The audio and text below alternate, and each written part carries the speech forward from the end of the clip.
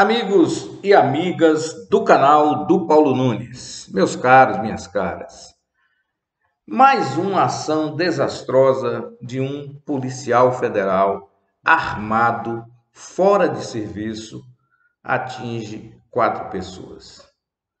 Ele matou um e três ficaram feridos. As cenas são fortes, mas nós vamos mostrar para você.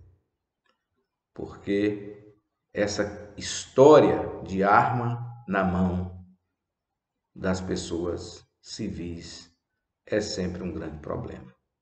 Ou arma na mão de pessoas da polícia ou dos militares, da polícia civil ou dos militares fora do trabalho, também causa problema. Mas eu quero pedir a você, antes de entrar nesse assunto, que você nos ajude a nossa caminhada de chegar aos nossos mil inscritos, como vem ajudando, compartilhando os nossos vídeos com seus amigos, com suas amigas, pedindo para dar um like, um joinha ou um curtir e como também apertar o sininho para que receba as notificações. Meus caros e minhas caras, na cidade de Curitiba, tem muita gente que acha que o povo de Curitiba é muito mais evoluído do que o povo de outros lugares no Brasil. É uma tolice imensa. E lá, esse policial não se sabe a rigor o que aconteceu, mas ele matou um rapaz, um fotógrafo, que estava fazendo um lanche com sua namorada nessa lanchonete e saiu à caça de outros tantos que se escondiam para não morrer. O único armado na situação era o policial. Meus caros e minhas caras, nós temos uma grande cruzada no Brasil contra o armamento na mão de um e de outro. Está provado que, veja só, o cidadão é um policial federal. Via de regra, deveria ter muito cuidado com sua arma. Mas a vontade de matar é uma coisa que ocorre com aquelas pessoas que, desde os tempos de jovem, têm a ideia de que tem que ter uma arma. Os clubes de tiros no Brasil se multiplicaram a partir do momento, infelizmente, do governo Jair Bolsonaro. A venda de arma no Brasil aumentou simplesmente 80%. As pessoas estão armadas. E armado você mata. Ninguém usa arma para não matar. A arma não foi feita para ninguém puxar e, e dar lição de moral e tal. A arma foi feita para o cidadão matar. O objetivo é esse. Ninguém vem com essa história, ah, mas a arma é para me proteger de quê? A arma é para você matar alguém que lhe contraria. E foi isso que aconteceu. Infelizmente, esse policial já tinha problemas na Polícia Federal. É por isso que aquilo que o presidente Jair Bolsonaro falou, que quando um cabo mente ele não vira sargento e quando um coronel mente não vira general, é mentira. Não é assim. Para você tirar um soldado da polícia militar, por exemplo, ele tem que aprontar demais. Aprontar assim como o marginal Daniel Silveira, que continua aprontando. É tão fácil notar o caráter desse rapaz. O cara pegou 56 punições na Polícia Militar do Rio de Janeiro até ser botado para fora. Não é assim simplesmente porque um, um, soldado, ou um sargento, ou um tenente faz uma coisa que já vai, a polícia já vai punindo. Não, não é assim que funciona. E esse policial federal, a própria polícia já tinha aprontado. E outra coisa, não poderia nem ser policial federal. Eu vou contar para vocês um fato que esse rapaz fez. Por ocasião da Lava Jato, tinha um, um doleiro chamado Alberto Youssef. E esse Alberto Youssef tinha uma secretária, que me passa o nome dela aqui agora, mas não é o que importa. O que fez esse policial? Ele comprou um chip no nome de uma empresa que tinha negócios com Alberto Youssef para tentar incriminar a secretária num telefonema que ele ia fingir. Eu não sei nem se chegou a se concretizar. Porque se está nos autos, alguma coisa teve de real. Mas sabe o que, que aconteceu? Absolutamente nada. Na Operação Lava Jato, muita coisa foi feita assim, armada. Do jeito que Sérgio Moro armou para simplesmente espionar os escritórios dos advogados e acabou sendo condenado por isso. Mas o que que diz o cara, o cidadão? Ah, eu estava fazendo pelo bem do Brasil. Mas é mentira. Ele atendia a interesses que nós vamos descobrir mais adiante. Embora eu já saiba a quais interesses ele atendia. Já falei em outros vídeos, interesses norte-americanos. Não necessariamente do governo americano, mas de grandes corporações americanas que têm total interesse no domínio do petróleo brasileiro, como já aconteceu agora. Então, era necessário descredibilizar o governo, criar as condições necessárias dentro do encaminhamento jurídico para que não restasse dúvida ao povo brasileiro, às pessoas do Brasil, de que tudo ali era corrupção. E aí, esses agentes públicos, comandados por seu Sérgio Moro e Deltano Dallagnol e aqueles é, é, é, delegados Martelo, Prego, aqueles que tinham lá, sempre armando o esquema. Os senhores talvez não saibam, mas a delegada de Polícia Federal de Curitiba, ela ouviu uma pessoa que nunca falou. Sabe o que quer dizer isso? Falsificou um depoimento de alguém para incriminar outro na Operação Lava Jato.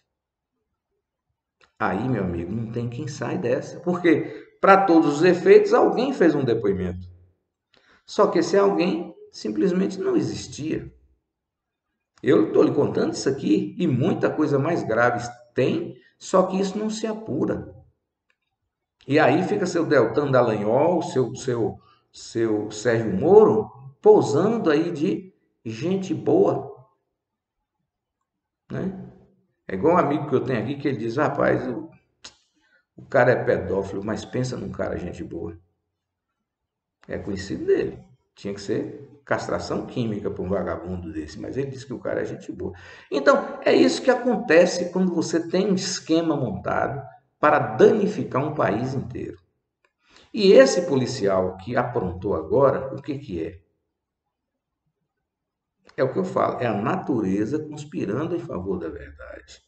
Era para ele ter sido expulso da polícia só pelo fato de ter montado o esquema, embora ele não montou porque ele quis, ele foi orientado a montar.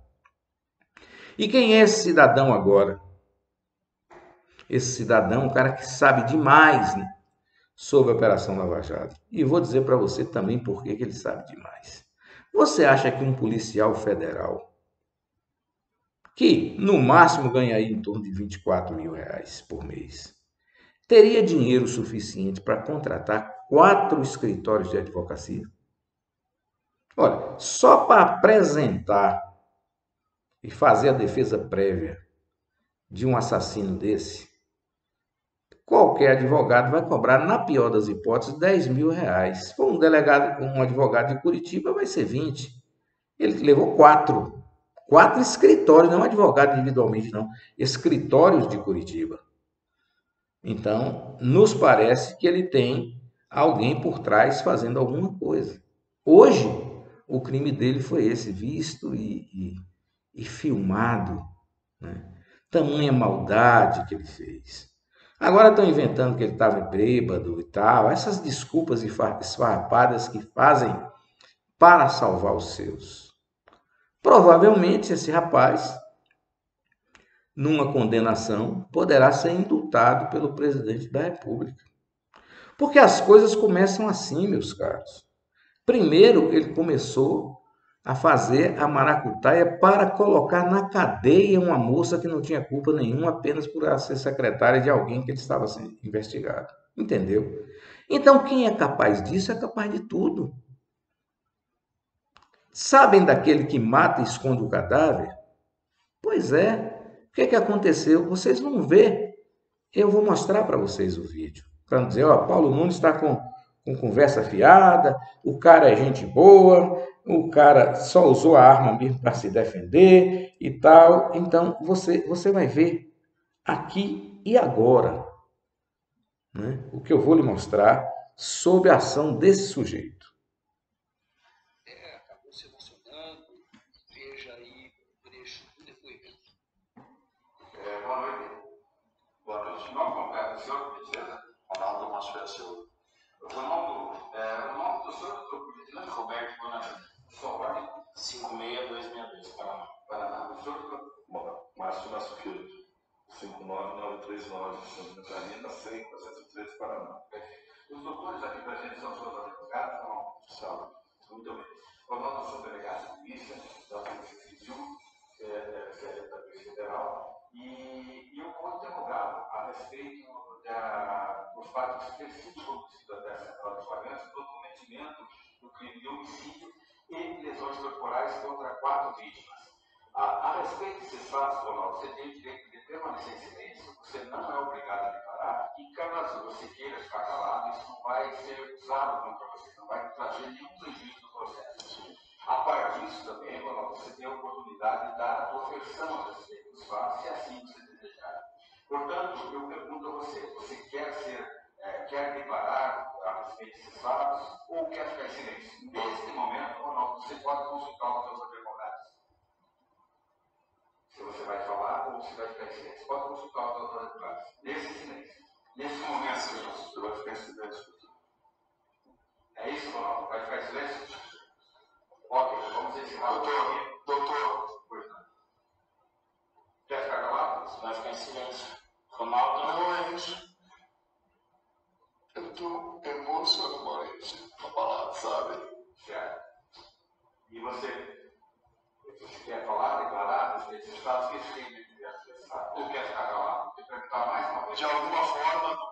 das coisas,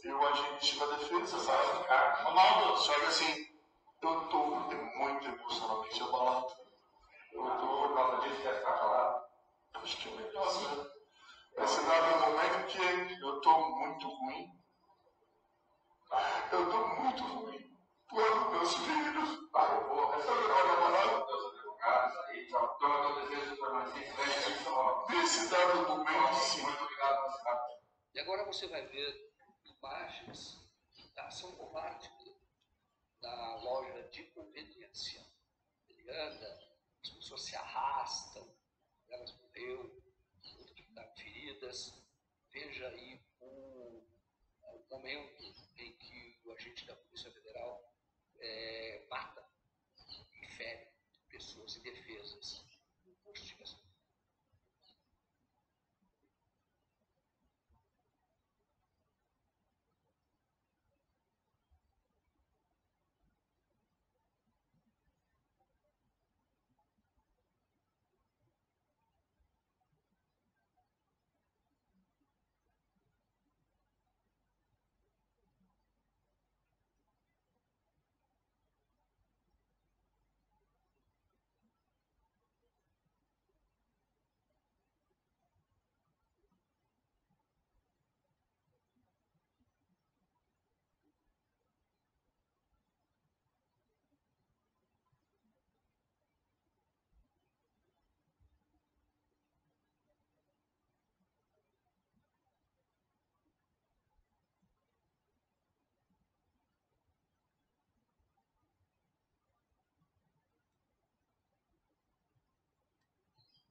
E era esse tipo de policial que fazia parte do O policial federal matou uma pessoa e feriu outras três em um posto de combustíveis em Curitiba. Ele efetuou os disparos de forma aleatória, depois de ter discutido com segurança por causa de uma vaga de estacionamento. O que consta é que ele discutia por uma vaga de estacionamento. Armado, simplesmente matou um e feriu quatro. Essa estupidez da legalização das armas, fora inclusive do serviço. Tá aí o problema. Ele está abalado e preocupado com seus filhos. Mas e os filhos das pessoas que ele feriu? Normalmente, esse tipo de bandido, de homicida, de fascista que quer eliminar o outro, é o quê? Se preocupar com exclusivamente a família dele. E esses fascistas fazem o quê? Deus, pátria e família. A família dele. O Deus dele, que não é o nosso. E não tem nenhum tipo de amor à pátria. Quem tem amor à pátria, pátria não existe sem as pessoas. E as pessoas são as pessoas que fazem a pátria. A pátria não é o território exclusivamente. A pátria significativamente é composta de pessoas e que se gostam e que mantêm a sua cultura e que mantenham e que mantêm a sua bondade. Não assim. Os senhores viram o trabalho quase é, é, eu não acredito, eu nunca vi um delegado de polícia fazer tanto esforço para que o interrogado nada falasse. Normalmente, o cidadão fala assim, o delegado, o senhor tem direito a ficar calado. Ponto. Não precisa dizer que se ficar calado nada será usado, insistir demais. Quem é advogado como eu, embora eu não milite nessa área, mas algumas vezes já acompanhei alguns, algumas pessoas em delito, eu nunca vi o delegado tratar bem. Nunca vi na minha vida. É, vamos embora falar mesmo e tal. Era desse jeito que o delegado fala. Mas esse delegado é excessivamente educado. Disse que os advogados, deu lá, pergunta aos advogados. Tudo bem, cumpriu o protocolo. Mas os senhores viram, é, as senhoras, que ele queria falar. Os advogados advertiram Ronaldo, Ronaldo, Ronaldo, que é o nome desse miliante. E ele devia estar preso na carceragem da Polícia Civil de Curitiba. Por que, que ele foi para a carceragem da Polícia Federal? Qual é a autoridade que ele tem de não ficar numa cela comum, já que ele é um preso comum? Então, esse é o Brasil que está sendo desenhado para os brasileiros. O que significa o quê? Se você for um cidadão que não tiver um prestígio financeiro ou não souber de algum segredo de um grandão, você leva porrada, você fica numa prisão com 200 pessoas juntos. Agora não, se você for um cara que conversa fiado desse jeito lá, o delegado lhe trata bem, depois você é conduzido para a sede da sua polícia. Pasme, senhores. Será possível que esse é um país que você quer viver? Cada um com a arma na cintura? Clube de tiro aqui, clube de tiro ali, olha a arma daqui, a arma dali, e é assim que vai, por quê? Porque essas pessoas têm proteção.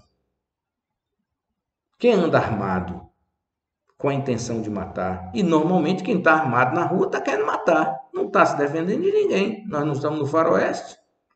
E o que é que acontece? Eles confiam em duas coisas. Não confiam em Deus, não. Esse cara não tem nada a ver com Deus. Acredita na impunidade por ser amigo de poderosos e acreditam na milícia. Milícia é aquela que é paralela à polícia e que age de forma forte, saqueando, roubando e ameaçando a parte civil ordeira do Brasil. Bom dia.